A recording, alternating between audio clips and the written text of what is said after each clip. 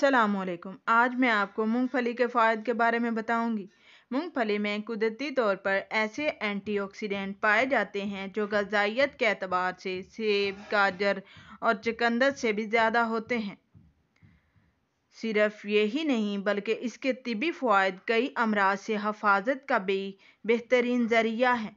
मूंगफली में पाए जाने वाले वाइटामिन ए कैंसर के खिलाफ लड़ने की भरपूर सलाहियत रखता है। जबकि इसमें मौजूद कुदरती फौलाद, खून के नए खलियात बनाने में भी अहम करदार अदा करता है। मूंगफली न सिर्फ़ जिल्द की खुश्की दूर करती है, बल्कि होंठों को गुलाबी करने में अहम करदार अदा करती है।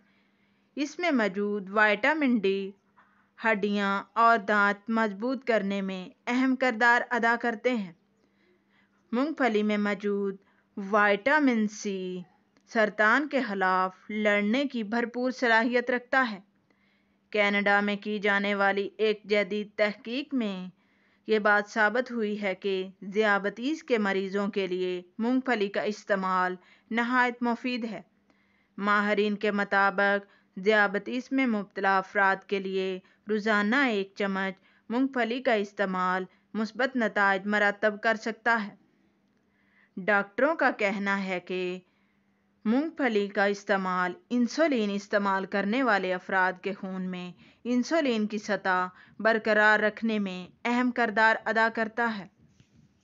गिरते हुए बालों और बार बार टूटने वाले नाखनों को गज़ा से कंट्रोल करना है तो मूंगफली का इस्तेमाल किया करें। मूंगफली के तिबी फ़ायद कई अमराज से हफाजत का बेहतरीन ज़रिया है।